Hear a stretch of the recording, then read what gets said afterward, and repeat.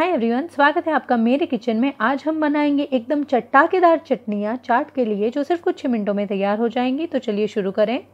हरी चटनी के लिए पहले हम लेंगे आधा कप पुदीना के पत्ते, एक कप धनिया की पत्ती उसकी डंडियों के साथ, ये स्वाद बढ़ाती हैं, और चार तीखी हरी मिर्च, आधी इंच अदरक का टुकड़ा, वन फोर टी काला नमक नमक स्वाद अनुसार, आधी टीस्पून भुना जीरा पाउडर और एक मीडियम साइज़ के नींबू का रस। मार्केट में बिल्कुल इसी तरीके से तैयार की जाती है। एकदम कम सामग्री से स्वादिष्ट और मज़ेदार चटनी। तो इसे अब हम पीस लेंगे एक बार। एक बार ग्राइंड करने के बाद हम यहाँ पे थोड़ा सा पानी डाल के इसकी पेस्ट बना लेंगे।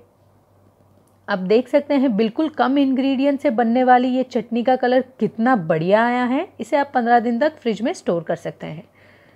अब हम बनाएँगे यहाँ पे मीठी चटनी, जिसके लिए हम लेंगे आधा कप इमली जिसे हमें अच्छे से एक बार धो लेना है। धोने के बाद एक कप पानी में एक से दो घंटे के लिए भिगो दीजिए। अगर आपको जल्दी है तो एकदम गर्म पानी में पाँच मिनट के लिए भिगो दीजिए, ये तैयार हो जाएगी। डेढ़ घंटे के बाद हमें इसको इस तरीके से एकदम मैश कर लेना है, क्योंकि इमली भीगने के बाद सॉफ्ट हो जाती है। तो इस तरीके से मैश करने के बाद हम इसे छान लेंगे। छानते समय हमें एक चम्मच की सहायता से इस तरीके से दबाकर सारा पल्प निकाल लेना है अच्छे से। जैसे ही हम ये इमली और इसका पल्प छान लें, इसके बाद इस कढ़ाई को हम गैस पे रख देंगे मीडियम आँच पे। अब हम डालेंगे आधी टीस्पून लाल मिर्च पाउडर, आधी टीस्पून भुना जीरा पाउडर, आधी टीस्पून धनिया पाउडर, वन फोर टीस्पून काला नमक नमक स्वाद अनुसार, और वन फोर टीस्पून सॉल्ट या तो फिर अदरक का पाउडर। फिर इसे अच्छे से मिक्स कर लेंगे। गैस की आँच को मीडियम ही रखना है। अब हम डालेंगे एक कप गुड़। आप शक्कर भी डाल सकते हैं, पर गुड़ से इसका स्वाद और कलर दोनों ही बढ़िया आएगा। अब हम इसे अच्छे से मिक्स कर लेंगे और मीडियम आँच पे इसे पकाएँगे।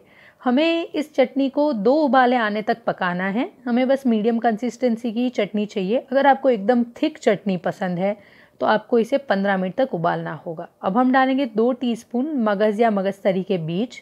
ये ऑप्शनल है, पर स्वाद अच्छा लगता है तो आप डाल सकते हैं।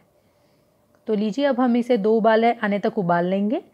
जैसे मैंने कहा, आपको थिक चाहिए तो पंद्रह मिनट तक उबालिए। ये हमारी चटनी बन के तैयार है, हमें ये कंसिस्टेंसी चाहिए। तो इसे हम एक बोल में या जार में निकाल लेंगे।